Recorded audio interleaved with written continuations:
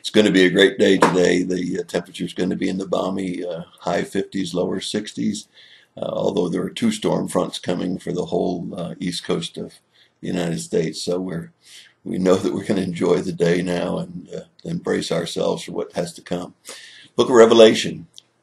Uh, one of the things I want to do now is backtrack just a little bit because you see each of the seven letters is written and the identity of the one writing or dictating what is to be written is clearly indicated and it shows the attributes and the character of God.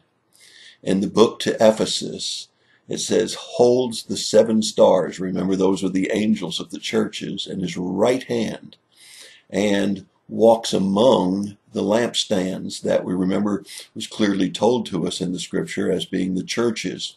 I think it's important for us to remember that the church is God's instrument. Uh, he established it, and he says, even the gates of hell will not prevail against it. And he says in Matthew, I will be with you always, even to the end of the age. My friends, if you belong to a local church, you belong to God's institution and uh, maybe you need to find the right one that preaches the word of God, but nevertheless, the church is God's institution, and uh, it is His tool in this world that we live in, and He's always with us, always with us not only individually but in our churches. To the church at Smyrna, he says he's the first and the last, the Alpha and the Omega, the creator of the heavens and the earth, the one who will bring final judgment. Uh, he is the one that will live out throughout eternity with us. He is the Alpha and the Omega, the first and the last. He also identifies himself there as the one that was dead, but is now alive. Uh, that's the risen Savior, Jesus Christ, very clearly. Uh, he's a risen Savior. We serve a risen Savior, the one that has power over death. To the church at Pergamum, uh, he says he's the sharp two-edged sword. In Hebrews chapter 4, verse 12, we see that as representing the Word of God. And the Word of God is sharper than any two-edged sword.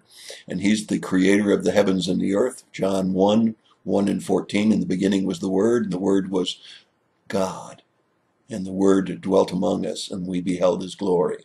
So we see the Word of God, sharper than any two edged sword. Always use the Word of God. I was uh, always uh, impressed with how the Word of God cuts through.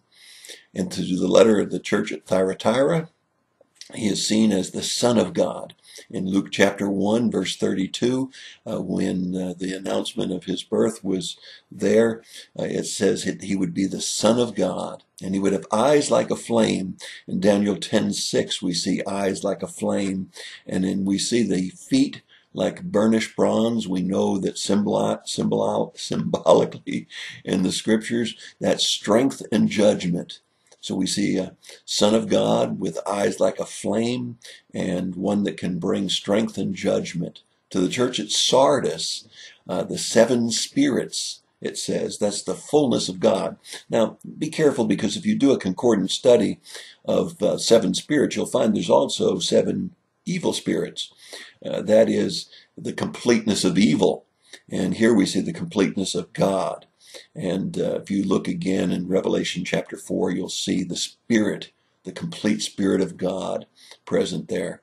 And it says the seven stars, again, we're reminded that He's got the angels of the church watching over us and uh, that He's always with us as a church.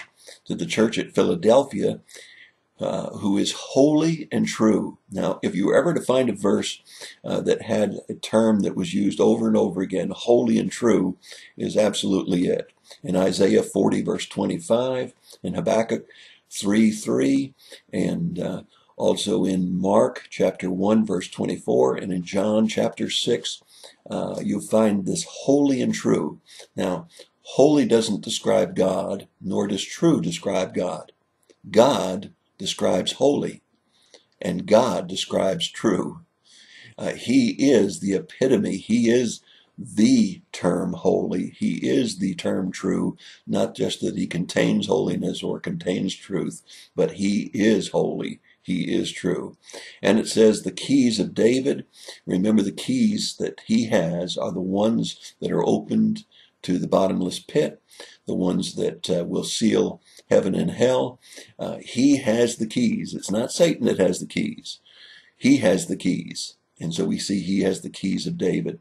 Finally, to Laodicea, it says he is the Amen. So be it. He is the faithful and uh, he is the true witness.